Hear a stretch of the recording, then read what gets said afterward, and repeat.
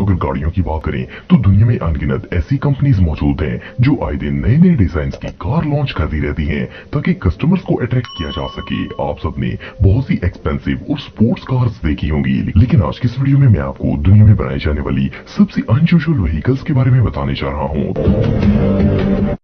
Submarine car दोस्तों आप में से ज़्यादातर लोग सबमरीन के बारे में जानते होंगे। ये एक मिलिट्री व्हीकल है, जो कि समुद्र की गहराई में चलने के लिए बनाई जाती है। लेकिन क्या कोई कार भी पानी के अंदर चल सकती है? सुनने में तो ये बात बिल्कुल नॉनसेंस लगती है। लेकिन एक डिज़ाइनर ने ऐसी कार बनाई है, जिससे आप पानी की गहराई में भी चला सकते हैं। ये जो स्पोर्ट्स कार आप देख रहे हैं, इसे देखकर कोई इमेजिन भी नहीं कर सकता की एक सबमरीन की तरह पानी में चल सकती है। इस गाड़ी के फ्रंट में दो वाटर जेट्स लगाए गए हैं, जिसकी मदद से ये पानी के अंदर चलती है। मज़े की बात यह है कि ये स्पोर्ट्स कार रूफलेस होती है। इट मीन्स कि पानी में जाते ही आप गीले हो जाएँगे। इसके अंदर ऑक्सीजन टैंक्स लगाए गए हैं, जिनके ज़रिए ड्राइवर और पैसेंजर सांस ले सकता है। ये अनयूजुअल कार 30 फुट गहरे पानी में भी चल सकती है और आप एक घंटे तक कार ड्राइविंग का मज़ा ले सकते हैं। वेल बेसिकली ये कार कम्प्लीटली यूजलेस है। लेकिन बहरहाल, इसके बावजूद इस सबमरीन कार की प्राइस दो मिलियन डॉलर है।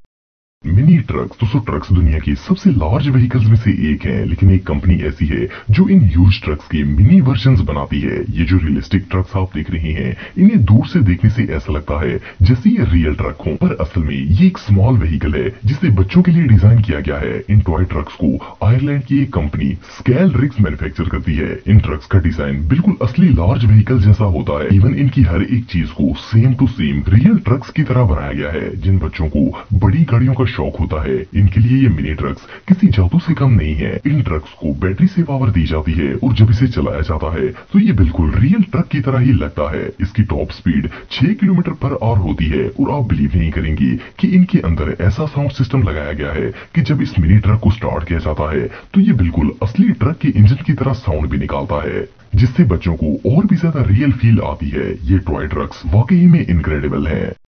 ब्रिज मोपीटा दोस्तों शायद आप में से कई लोग जानते होंगे कि पुराने दौर में टाइनी और थ्री व्हील कार्स बनाई जाती थी। ये जो अनयूजल कार आप देख रहे हैं, ये भी इन्हीं में से एक है। ये दुनिया में आज तक बनाई जाने वाली सबसे छोटी गाड़ियों में से एक है। इस थ्री व्हील कार को एक डिज़ाइनर ईगन ब्रंच ने 1956 के दौर में बनाया था। इतनी छोटी होने के बावजूद, ये व्हीकल 50 किलोमीटर की स्पीड से चल सकती थी। ये कार सिर्फ़ छह फुट लंबी और तीन फुट ऊँची होती है। इसके अंदर मुश्किल से एक शख्स बैठ सकता है। इसके अलावा इस कार में स्टीयरिंग की जगह एक हैंडल लगाया गया था। 1956 में इस तरह की सिर्फ़ 14 गाड़ियाँ ही मैन्युफैक्चर की गई थी। इस माइक्रो कार में 50 सीसी का इंजन लगाया गया था और ये सिर्फ़ तीन गियर्स पर चलती थी। Well as you can see कि ये गाड़ी किसी काम की नहीं थी, इसलिए इसे किसी ने बाय नहीं किया था। उस वक्त इस कार की प्राइस सिर्फ़ 200 पाउंड होती थी, पर पर आज दुनिया में ऐसी सिर्फ़ पाँच ही कार्स बची हैं और आपको जानकर हैरानगी होगी कि आज इस गाड़ी की कीमत एक लाख छत्तीस हज़ार डॉलर से भी ज़्यादा है। लेकिन बहरहाल, ये कार आज भी यूजलेस है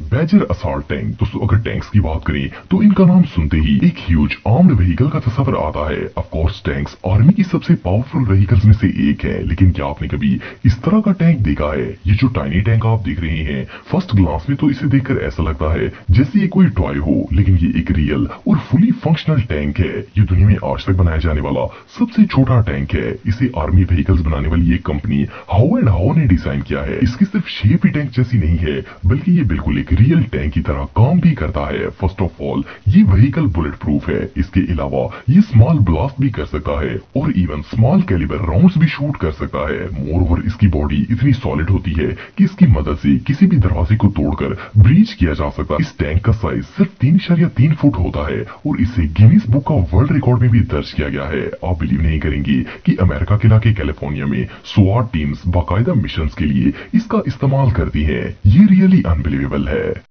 है जीएम फायरबर्ड थ्री दोस्तों, ये जो यूनिक कार आप देख रहे हैं, पहली बार इसे देखने से ऐसा लगता है जैसे एक जेट रोड पर चलकर आ रहा हो। अगर ये रोड पर जा रही हो तो कई लोगों को ऐसा लगेगा जैसे एक एलियन स्पेसशिप है जिसे किसी ने टायर लगा दिए हो। इस अनयूजल कार को 1958 में डिज़ाइन किया गया था। इसे एक फ़ेमस इंजीनियर हार्ली एर्ल ने बनाया था। दुनिया में आज तक इस जैसी वियर्ड कार नहीं बनाई गई। दूर से ये एक स्पेसशिप जबकि करीब से ये किसी फाइटर जेट की तरह लगती है। इसके अंदर दो लोग ट्रेवल कर सकते हैं। इसके रूफ को एक जेट की तरह ग्लास शेप दी गई है। लेकिन प्रॉब्लम ये है कि ये दो अलग ग्लास होते हैं। इट मीन सफ़र के दौरान ड्राइवर और पैसेंजर आपस में बात नहीं कर सकते। सिर्फ़ इतना ही नहीं, इसका ड्राइविंग सिस्टम और गियर हैंडल भी बहुत ही यूनिक होता है। इस जेट कार में 225 हॉर्स पावर का टर्बाइन इंजन लगाया गया था। और ये गाड़ी 321 किलोमीटर पर आवर की स्पीड से चल सकती है। वेल इतनी फास्ट स्पीड में तो आप जेट की फीलिंग तो ले ही सकते हैं।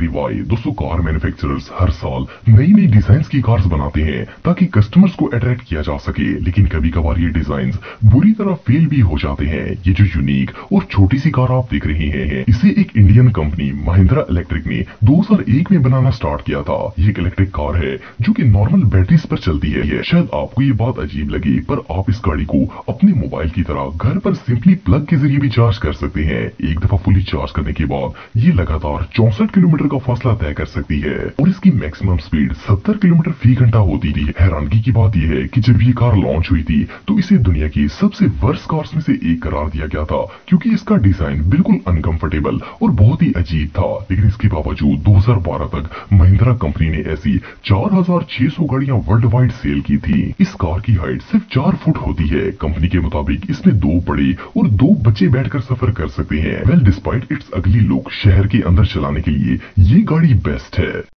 एमपी कार दोस्तों ये जो क्लासिक ओल्ड कार आप देख रहे हैं, इसकी लुक तो बिल्कुल नॉर्मल पुरानी गाड़ियों जैसी ही लगती है, लेकिन इसके अंदर एक ऐसा फीचर था जो आज भी किसी गाड़ी में नहीं है। ये कार रोड के अलावा पानी पर भी चल सकती है। इस अनयूजुअल कार को सन 1961 में बनाया गया था। ये एक ही वक्त में कार और बोट दोनों का काम कर सकती थी। देखने में तो ये आइडिया बहुत ही कूल था, लेकिन इस कार में बहुत कुछ गलत था। नाइनटीन में सबसे पहले ये कार न्यूयॉर्क के एक ऑटो शो में इंट्रोड्यूस करवाई गई थी। फ़र्स्ट ग्लास में तो कार लवर्स इसे देखकर शॉक हो गए थे। पर ये कार डिज़ाइन तीन रीजन की वजह से फेल था। फ़र्स्ट ऑफ़ ऑल इसे रजिस्टर करवाते वक्त दो इंश्योरेंस पॉलिसीज़ लेनी पड़ती थी, एक कार की और दूसरी बोट की। इसके अलावा जब इसे पानी पर चलाया जाता था तो सिर्फ़ एक स्विम के बाद ही इसकी सीट चेंज करनी पड़ती थी, क्योंकि पानी इस गाड़ी के अंदर आ जाता था। इसके अलावा दरिया से निकलने के बाद इसे ड्राई करके ग्रीस करवाना लाजम था, वरना ये रोड पर नहीं चल सकती थी। सो बेसिकली ये कार सिर्फ़ सर का पेन था, इसलिए आइडिया बुरी तरह फेल हो